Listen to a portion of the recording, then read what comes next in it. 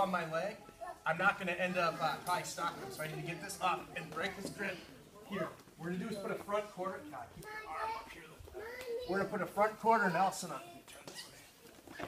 So my outside hand goes to his head, and I'm grabbing it with the wizard hand.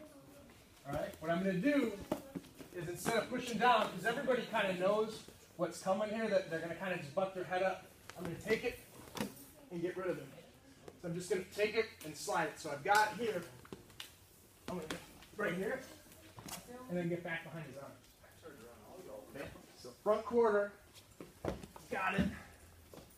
Right here, he's on my leg, but it's kind of okay because it's pretty much off. Get it all the way off, move him, and then drop down. All right, so we got sprawl, front quarter, stay on your toes, don't drop your knees. Drag him by and get behind his arms.